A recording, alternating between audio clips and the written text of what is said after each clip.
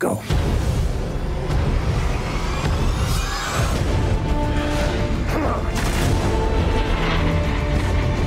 This city deserves a better class of criminal.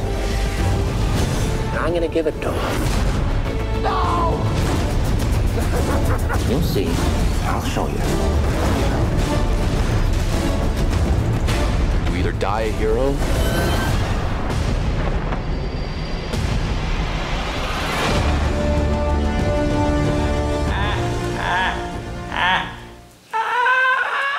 Vamos falar hoje sobre um dos caras mais odiados e amados do mundo dos quadrinhos e também do cinema. Vamos falar sobre Coringa, o príncipe palhaço do crime.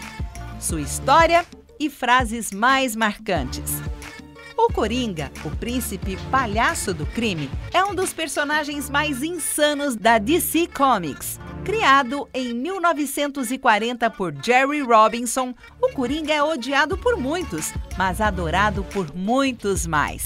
Se você faz parte desse time, aumente o volume porque a gente vai arrasar agora.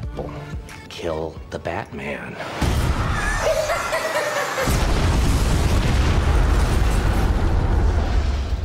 Here's my card. Coringa é o principal arquinimigo do Batman. Este personagem completamente insano é um dos vilões mais populares da atualidade. Aliás, de todos os tempos. Apesar de ser um dos favoritos dos fãs de quadrinhos, a origem do Coringa está rodeada de muitos mistérios e detalhes que o fã comum do personagem talvez desconheça. Neste vídeo, vamos tentar desvendar alguns mistérios e revelar um pouco mais sobre a origem do Rei Palhaço do Crime. A sua criação esteve rodeada de polêmica.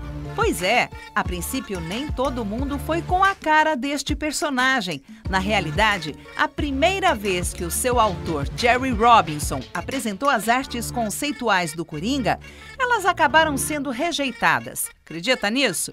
Na época, os executivos da DC Comics achavam que não fazia sentido nenhum ter um vilão com cara de palhaço. Mais tarde, no entanto, a ideia de Jerry Robinson foi aprovada e assim nasceu um dos personagens mais icônicos de todos os tempos, um dos personagens mais misteriosos dos quadrinhos. O Coringa apareceu nos quadrinhos sem qualquer tipo de explicação ou história de origem. A sua estreia foi na HQ número 1 do Batman, sendo que o personagem foi apresentado apenas como um vilão. Aliás, se você quiser conhecer um pouco mais da Arlequina, a namorada do Coringa, clique no card aqui em cima que você vai também ouvir e conhecer muito sobre a Arlequina e suas frases incríveis. Voltando ao Coringa, até hoje a DC Comics não oficializou qualquer história sobre o nascimento do Coringa, sendo todo o seu passado desconhecido e a identidade do homem por trás do sorriso de palhaço permanecendo um grande mistério.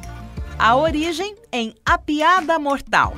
Na HQ A Piada Mortal, onde o Coringa é o principal personagem, houve a tentativa de dar uma história de origem ao palhaço do crime.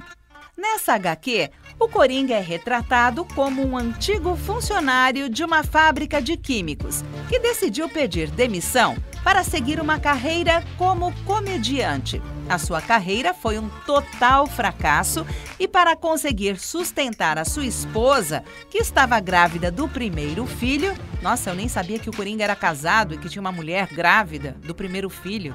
Eita! Bom, continuando. Ele se juntou a um grupo de criminosos que pretendia assaltar a fábrica de químicos onde ele já tinha trabalhado. Para não ser reconhecido durante o assalto, o ex-funcionário se disfarçou com um capuz vermelho. Outro famoso personagem da DC. Contudo, antes de prosseguir com o assalto, recebeu a notícia de que a sua mulher tinha falecido. Ah, bom! Assim como o bebê, que ainda estava para nascer. Os criminosos, no entanto, conseguiram convencê-lo a avançar com o golpe. E durante o assalto, as coisas não correram bem. E o Batman apareceu justamente nessa hora para capturar todos eles. É neste momento que o futuro Coringa se atrapalha e acaba caindo num poço de químicos.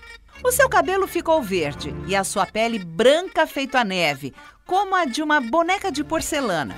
Sem conseguir lidar com tanto desgosto, ele teve um esgotamento nervoso e assim nasceu o Coringa. Apesar dessa ser a história de origem mais popular, a DC Comics não a reconhece como a versão oficial da criação do personagem. Vamos combinar que o cara é capaz de tudo. Arthur, conversar com alguém tem ajudado?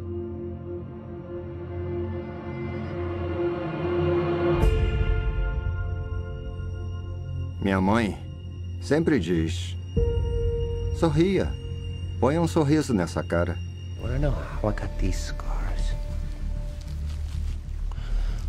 My father was a drinker and a fiend. And one night, he goes off crazier than usual. Mommy gets the kitchen knife to defend herself. He doesn't like that. Not one bit. So, me watching, he takes the knife to her, laughing while he does it. He turns to me and he says, Why so serious? He comes at me with the knife. Why so serious? He sticks the blade in my mouth. Let's put a smile on that face. And. Why so serious? O Coringa é um personagem polêmico e tudo porque a sua insanidade não tem limites. Ele é capaz de tudo e não precisa de qualquer motivo para isso, todo mundo sabe.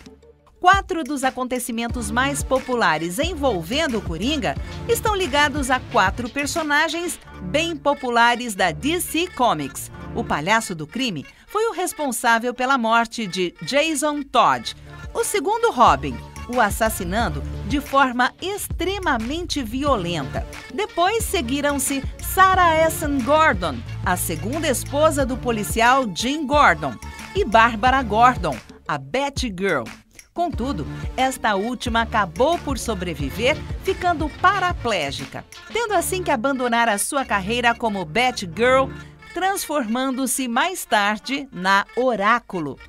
A insanidade do Coringa culminou com o seu ataque ao Super-Homem. Após raptar Louis Lane, ele envenenou o Homem de Aço com uma mistura de kriptonita e gás do medo do espantalho.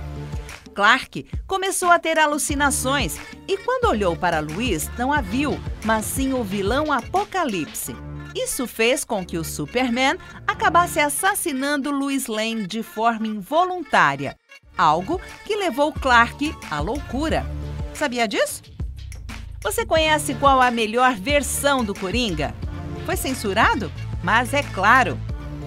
Bom, um personagem tão violento e imprevisível tinha que ter alguns problemas legais, não é mesmo? O Coringa deve ser um dos personagens que mais vezes foi censurado em toda a história. Durante os anos 50 e 60, a DC Comics teve que tornar o personagem bem menos violento após receber indicações por parte dos revisores. Essa foi uma tendência que continuou durante os anos 70, sendo que o Coringa só voltou a ser fiel ao seu instinto violento na década de 80. Em 2015, o personagem voltou a ser motivo de polêmica após o lançamento desta capa, que foi considerada extremamente chocante e perturbadora, acabando por ser censurada. And now, people of Gotham City, the moment you have all been waiting for. the grand finale, the climax of my performance, the zenith of my career. the unmasking of Batman and Robin, the boy wonder. Qual é o principal poder do Coringa, você sabe? Pois é, o principal poder do Coringa é a sua loucura. Loucura insaciável. Além de ser extremamente resistente à dor e imune ao gás do riso, mais conhecido como veneno do coringa, ele não tem qualquer tipo de superpoder. Mas é louco. Contudo, o que o torna perigoso é a sua insanidade e a sua imprevisibilidade. O seu desequilíbrio mental faz com que não tenha medo de nada. Tudo aos seus olhos é uma piada, tornando-o capaz de fazer tudo. Enquanto Batman é um herói com um código moral elevado, o Coringa é o oposto extremo. A rivalidade de ambos é uma competição que tem como prêmio a alma de Gotham. O Coringa é exímio em colocar Batman entre escolhas impossíveis e explora assim as suas fraquezas. Mas qual é o efeito dessas atitudes? Qual é o verdadeiro propósito do Coringa? Gotham City. Ela sempre põe um sorriso em Antes do Coringa cruzar o caminho do Batman, o Homem-Morcego pensava que todos os criminosos eram iguais, que só procuravam grana e que existia uma sequência lógica para tudo.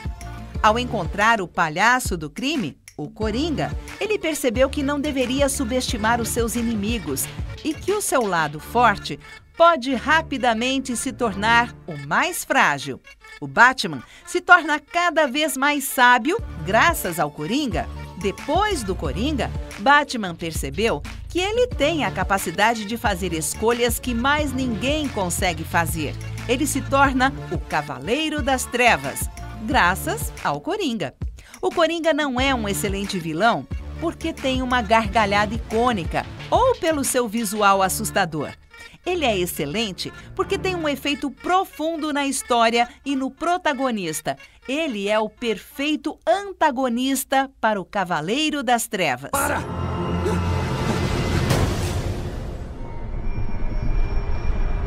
Sou só eu? O mundo tá ficando mais louco. Fruto do seu desequilíbrio mental, esse personagem tem algumas das melhores frases do universo DC Comics. Neste vídeo, você vai relembrar algumas das melhores frases do Coringa, o eterno rival do Batman. E se você lembrar de alguma frase que não está aqui ou tiver alguma preferida, deixa aqui embaixo nos comentários. Afinal, todos nós somos fãs do Coringa, certo? E se você está gostando deste vídeo, deixe por favor o seu like aqui embaixo, ative o sininho, se inscreva no canal que você vai conhecer muitos outros personagens e outros temas interessantes. Clicou no like? Clicou no botão de inscritos? Ativou o sininho? Então vamos lá para as frases do Coringa.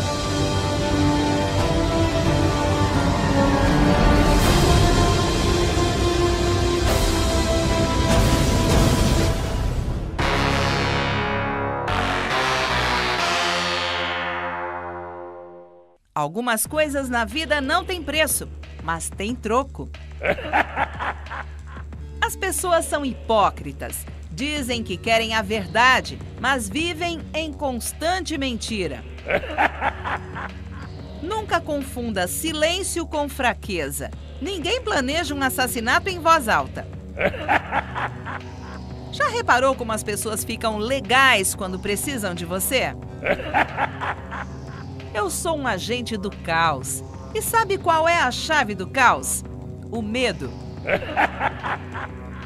Se a vida não ficar mais fácil, trate de ficar mais forte. Não cometa o mesmo erro duas vezes. Cometo logo umas cinco vezes para ter certeza que é errado. A verdade pode machucar, mas é sempre mais digna. Cuidado ao me fazer de idiota. Eu sei me vingar. Nunca comece algo que não vai terminar. Honestidade é um presente muito caro. Não espere isso de pessoas baratas. O mal do valentão é achar que todo calado é otário. Preste bastante atenção para aqueles que não batem palmas quando você perde. Se você está procurando aquela pessoa que vai mudar a sua vida, dê uma olhadinha no espelho. Arrisque. Ninguém é feliz com medo. Dizem que a sinceridade machuca, mas, na minha opinião, a mentira faz um estrago muito maior. Basta um dia ruim para tornar o mais são dos homens em um lunático. Eu acredito que tudo que não te mata te deixa mais estranho. Loucura é a saída de emergência. Você só precisa dar um passo para trás e fechar a porta com todas aquelas coisas horríveis que aconteceram, presas lá dentro para sempre. Não leve a vida a sério. Você não vai sair vivo dela mesmo. Eu consegui! Eu finalmente matei o Batman em frente a um monte de criancinhas vulneráveis e inválidas. Agora, tragam o Papai Noel. Às vezes, a melhor maneira de chamar a atenção de alguém é explodindo alguma coisa. A verdadeira piada é a sua convicção teimosa até os ossos de que, de um jeito ou de outro, tudo isso faz sentido isso me faz gargalhar toda vez.